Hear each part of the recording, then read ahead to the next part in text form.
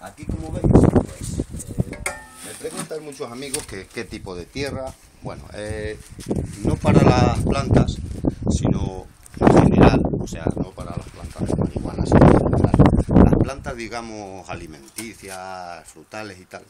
eh, la tierra que mejor le viene es, como ya os he comentado, igual que a las personas, la alimentación alcalina. Pues a las plantas les sucede exactamente lo mismo. Un ejemplo claro lo podéis ver para que veáis o hagáis una idea al que vayáis siguiendo más o menos las historias que voy contando.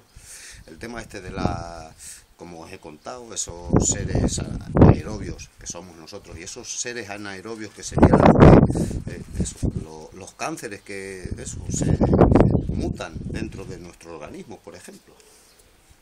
Pues eh, en las plantas sucedería igual.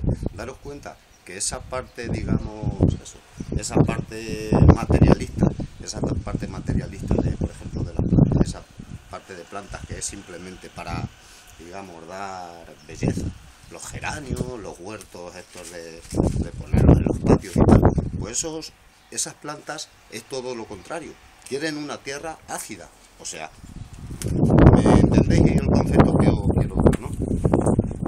Bueno, pues en general, para preparar la tierra, con que cojáis tierra de, bueno, del campo, de la que sea, si es eh, un poquito caliza, es mucho mejor, porque eso es alcalina. Aún así, luego le revolvéis, al 50% quizás eh, podéis revolver tierra de, digamos, ya os he me habéis visto por ahí en algún vídeo, pues de coger tierra de debajo de los montes, de los árboles, las arboledas, eh, donde debajo de los árboles hay una gruesa capa de eso, de materia orgánica, descompuesta, de distintos insectos, compuestos también, o sea, hay de años y años, pero están en esos bosques, los montes, donde nadie los ara, donde nadie los remueve, van cayendo los, los frutos, las hojas, en fin, todo se va revolviendo, eso es materia orgánica perfecta. Ya os digo que eso es un, buen compost, aunque parezca que no. Eh, la tierra caliza, al que pasa con, por ejemplo, el nitrógeno. El nitrógeno en sí no lo puede asimilar, digamos, la planta, la raíz. Eh, lo podemos ver en los abonos, digamos, químicos. Eh, se, se tiende a separar el nitrato y el amonio, cosas que sí puede asimilar la planta. Una de las formas de eso, de digamos que la, la tierra vaya soltando o descomponiendo todas las sustancias, tanto la materia orgánica que le vayamos añadiendo, como esa tierra misma, esa tierra si se la echamos caliza, para ir descomponiéndola, para eso, para que la tierra quede a merced de la raíz, para que la pueda asimilar, pues eh, se le puede añadir, como veis, clavos, hierros, se le van dejando y el óxido ayuda a eso, a descomponer el resto de, de materias, o sea, las oxida y las descompone. Eh, una de las cosas que me habéis visto de eso, de echar, es eso, diferentes restos vegetales, mm, no, guisa- no guisados nunca, aunque si esa misma fruta la calentáis, eso la ayudáis a descomponerla, si la trituráis, si es tarde, por ejemplo, y no la habéis echado durante el invierno, pues podéis triturar esos los restos, incluso calentarlos un poco eh, para que se pudran, los metéis en una bolsa que se pudran y luego los vais extendiendo. Esa es la mejor, digamos, el, mejor abono. Se trata de eso, de luego ir añadiéndole cosas para que mm, eso, la suelte el alimento. Un poquito eh, es bueno de eso, el nitrógeno donde mejor lo podéis encontrar es en los excrementos animales, el estiércol animal es el mejor de siempre para eso, para las plantas, esos restos vegetales. Como veis aquí, ceniza de la chimenea, eso es potasio.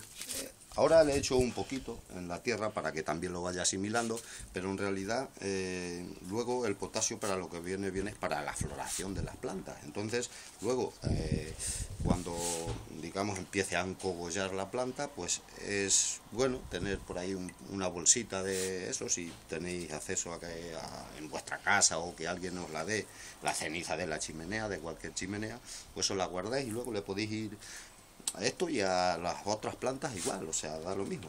ya os digo, es potasio. Y eso, muchachos, si acaso la tierra es muy fuerte y veis que tal, le podéis también echar un poquito de azufre. Eh, incluso si no tenéis acceso a, digamos, a tierra caliza, por ejemplo, si echáis todo, hay mucha gente que le echa todo químico y venga y todo comprado y tal. Eh, bueno, todo eso ya sabéis lo que pienso de ello. Eh, bueno, es lo que os digo, que si la tierra de donde estéis no es caliza, pues podéis haceros de eso en cualquier almacén de materiales con un saquito de cal muerta eh, y le podéis echar. Eh, eso también disuelve, siempre es al contrario, o sea, siempre hay productos que hacen que la, tierra vuelva a su, a su equilibrio, a su pH alcalino, el que necesitan las plantas. Y bueno muchachos, como ya os digo, ahí dejo el hierro, hoy no la voy a plantar, así que ninguna de esas es la que voy a echar, esas son para garlas, hoy tengo que pensar a ver qué he hecho por ahí. Aquí veis que he hecho la ceniza y también he hecho esta capa que es este año, pues eh, como le cambié toda la tierra, todo, tengo que ir a por tierra, pero porque quiero echar, más y más historias de esas. Y bueno, pues esto es, las hojas, las cáscaras, eh, trozos de, de, tronco, o sea, mm, pegaduras de, las ramas, trozos de secas, trozos de ramas, de todo. Esto, al principio, al margen de se va a ir descomponiendo con, lo que le vayamos echando, el agua la va pudriendo. Al margen de eso, esto se lo he hecho. ¿Por qué? Porque esto mantiene siempre la tierra luego húmeda. O sea, es así de fácil. Hay diferentes eh, cualquier, eh, eso, cortezas de los árboles, trocitos, hojas secas que se mantengan un poquito tiempo, bastantes hojas. Eso hace de que, eso, de que el frescor de la tierra se mantenga. Bueno, muchachos, como un poco tutorial para empezar, para ver ese proceso de, la marihuana, desde que es esa semillita. Preparamos la tierra más o menos como os lo he dicho, unos clavitos, una poquita ceniza, un poco estiércol del animal, restos vegetales, tierra de donde sea, si ya os digo, aunque la caliza tiende a ser la que peor cara tiene, la que menos fundamento parece dársele para la siembra, simplemente se trata de eso, de complementarla un poquito y añadirle eso que haga que descomponga todos los elementos que lleva la tierra caliza. Y bueno muchachos, pues, ¿qué queréis que os diga? Yo creo que para muestra ha valido un botón.